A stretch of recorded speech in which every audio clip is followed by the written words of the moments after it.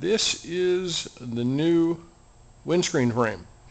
Uh, this is a knock together prototype just to allow me to see where everything is going to fit and it's not the final design. It's pretty close but there's still some features that need to be added to it and I'm going to try to reduce the number of angle cuts you guys need to make as much as I can. I also want to show you a couple of construction details that you're going to need to know before you skin your cockpit. Um, this is the forward turtle deck that has been skinned with eighth inch hardboard and as you can see I've used actual aircraft rivets. These are standard aluminum rivets. I'm using flathead here and this is just an example to show what the flatheads look like. If you can see that real close they're flush with the surface.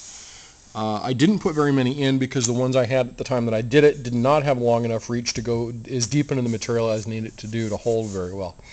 The rest of the rivets are standard panhead rivets. Uh, these are half inch rivets, eighth inch diameter. Uh, the trick is you drill the hole just a little bit undersized, put a drop of glue in the hole, and tap it in with a plastic headed hammer. It doesn't mar the surface, and it looks really good. Um, next, we've got the construction detail that I wanted to talk to you about. As you can see here, we've got a gap between the canopy rail and the surface where the skin is going to be. Okay, This gap needs to be closed up because we're going to have to put a, uh, a line of either regular fasteners or rivets in here to hold the skin down. Okay, Now what I have done is put in a little bit of blocker material back there using a pin nailer. It's real similar in size to that. This one's actually pinned and glued in place. But it'll fit under here just like that. And you're going to have to do this for the entire run, okay? That's in order to build up on that surface so you can see what's going on. I should note real quick, this is a tool that you're going to want to get. It's a called a pin nailer. They run anywhere from $20 to $100 depending on who you get it from and where you uh, where you go. This one was from Harbor Freight and was all in 1995.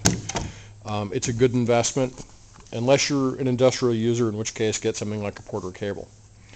Um, anyway, this needs to be built up.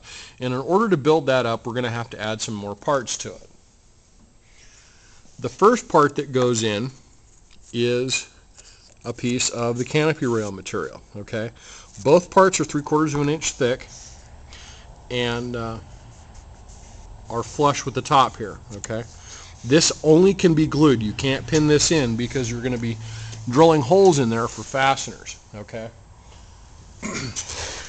the next parts that go into this are made of eighth inch light ply.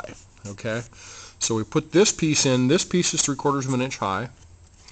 The next layer is a half inch high. And the next layer is a quarter inch high.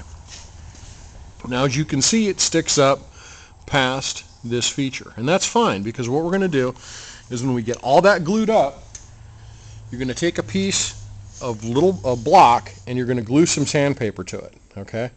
And when you have all of these pieces done, you can sand this to shape and it'll look really nice.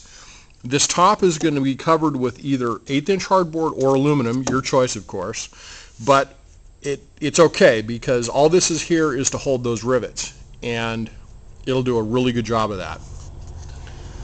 Uh, next video, you'll see what it looks like all shaped up.